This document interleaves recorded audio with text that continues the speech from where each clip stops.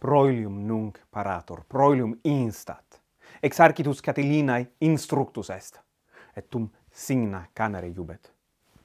Et milites in locum aecum deducit, equos removet, equos removet. Des equites, habent equos, Catilina autem, dami equos, non ut uh, omnes habeat nam commodo quiribus, non, sed vult idem periculum esse peditibus quod equitibus si equum habeas minus est periculum. Ergo ut pedites et equites quasi aequum periculum subeant equos removet sic animus erit fortasse maior. Ex altera parte romani stant rei publicae populi romani exarchitus gaius antonius qui praest eh, exarchitui aiger est das är simulat. Oh, bäst dåligt. Oh, non, alla. Neski, no, jokor. Sed aiger est, aiger est.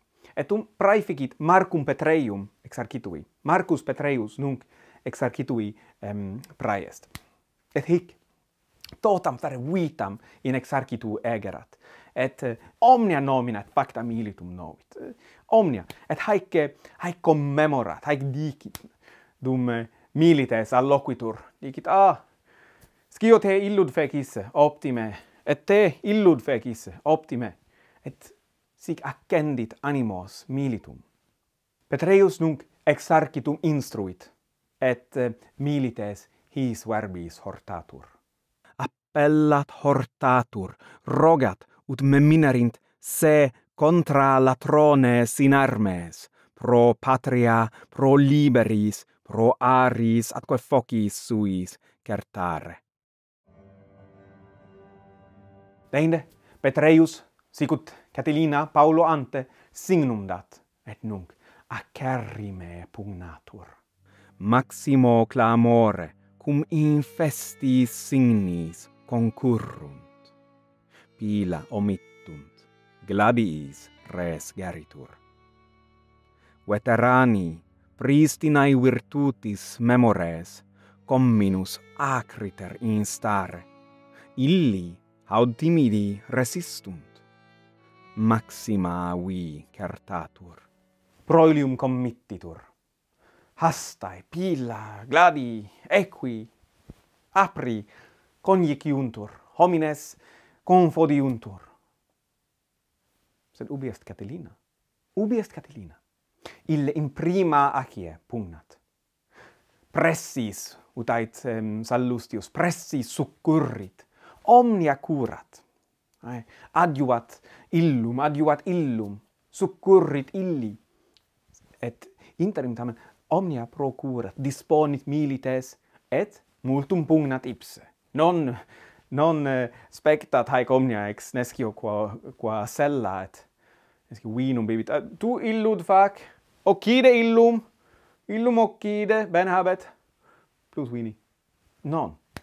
Ille interest ipsi pugnae, et vehementer, vehementer pugnat, multum pugnat. Nunc magna strages fit, homines ubique moriuntur, est, est horrendum spectaculum. Tum Petreius Catilinam videt, et miratur, cur miratur Petreius? Petreius miratur quod Catilina non cedit, non fugit, sed instat. Quamquam certe Romani, populi Romani exarchitus maior vehementior est fortasse. Et Petreius, cum haec videt, cum Catilinam, non cedentem, sed instantem videt, tum impetum acerrimum facit in hostes. Cohortem praetoriam in medios hostes inducit, eosque perturbatos, atque alios alibi resistentes interficit deinde utrimque ex lateribus ceteros aggreditur. Catilina nunc undeque premitur. Actum est, ilicet. Quid facit? Quid facit Catilina? Fugit? Cedit? Nil minus. Catilina, postquam fusa Scopias, seque cum paucis relictum videt memor generis atque pristinae suae dignitatis, in confertissimos hostes incurrit, ibique pugnans confoditur. Ecce clamores horror bellum mors.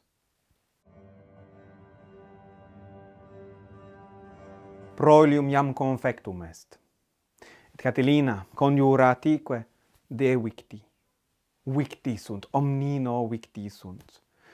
Et omnia in hoc campo, omnia cadaveribus, cruore, morte plena sunt. Haec sunt, haec sunt vestigia belli, et pugnae acerrimae. Et Catilina, victus ille quidem, non est dubium, victus.